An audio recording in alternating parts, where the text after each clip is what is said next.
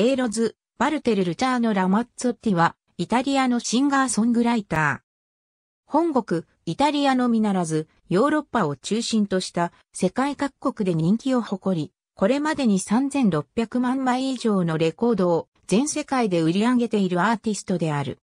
日本では発売元が英語読みをしてエロス・ラマゾッティ表記で CD が発売されている。ローマ郊外のチネチッタに生まれる。映画の街を意味するチネチッタはその名の通り映画スタジオが立ち並ぶ地域であり、エロスも幼い頃フェデリコ・フェリーニ監督のアマルコルドなどの映画にエキストラとして出演したこともある。子供の頃はサッカーと歌うことが好きで、勉強はあまり得意ではなかった。8歳の時、ミュージシャンでもあった父親から初めてギターをプレゼントされ、音楽に打ち込むようになった。中学校を卒業して音楽学校を受験するが、作曲ができなかったため不合格となる。それでも音楽への夢を諦めきれず、1981年にカストロカーロ音楽祭に自作曲、ロック80で出場。入賞は逃したものの、レコード会社の目に留まり、契約を結ぶことになった。これを機に、ミラノに移り、本格的に音楽活動を開始する。1984年、サンレーモ音楽祭にテラプロメッサで出場し、新人部門にあたる防地のオーベで優勝。それまで単なる若手歌手に過ぎなかったエロスに一躍注目が集まるようになった。翌1985年にも、ウナストーリア・イーインパートンテで同音楽祭に出場して人気を博す。同年にはアルバムクオーリアギッタチを発表。1986年3年連続となるサンデモ音楽祭で今度は一般部門にアデ卒で出場して優勝し人気を不動のものとする。同年発表のアルバムニューウビエロイはスイスオーストリアなど各国でチャート1位を記録。続いて行われたコンサートツアーは9ヶ月の長さに及んだ。イタリア以外の各国でも高まる人気に応え、ニューウビエロイからはスペイン語版も制作するようになった。以降、ライブ版など一部を除き、彼のアルバムはすべてイタリア語とスペイン語の2つのバージョンでリリースされている。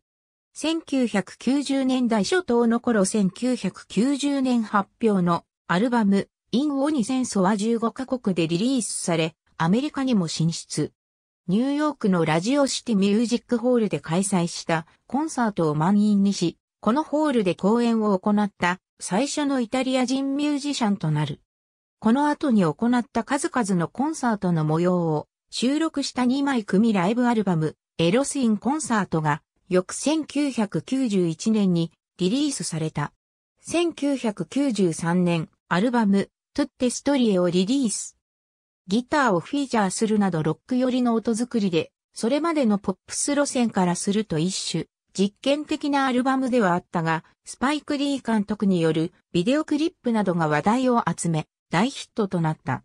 このアルバム発表後のツアーでは、ヨーロッパ以外にもラテンアメリカの国々を回り、現地のファンに熱狂的に迎えられた。1995年の夏、ヨーロッパの7都市で開催されたサマーフェスティバルに出演。エルトン・ジョン、ロッド・スチュワート、ジミー・ペイジ、シェリル・クローラと共にステージに立った。この頃、エロスは所属レーベルとの契約を終了し、自らの事務所を設立。1996年のアルバム、タブシー、M 字川彼自身のプロデュースによる初めてのアルバムとなった。同年の12月には、スイス人モデルの恋人ミシェル・フンツェカーとの間に、娘、アウロラ・ソフィーが誕生。ダブ C、M 字カ収録の曲、エル・オーラを娘に捧げている。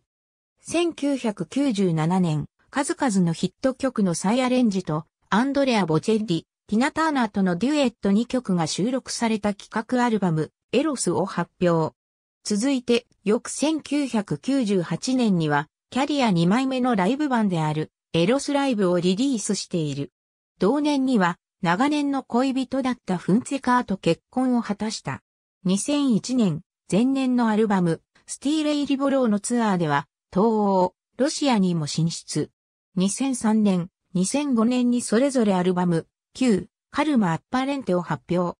2006年、それまでの功績が認められ、イタリア共和国功労勲章を受章した。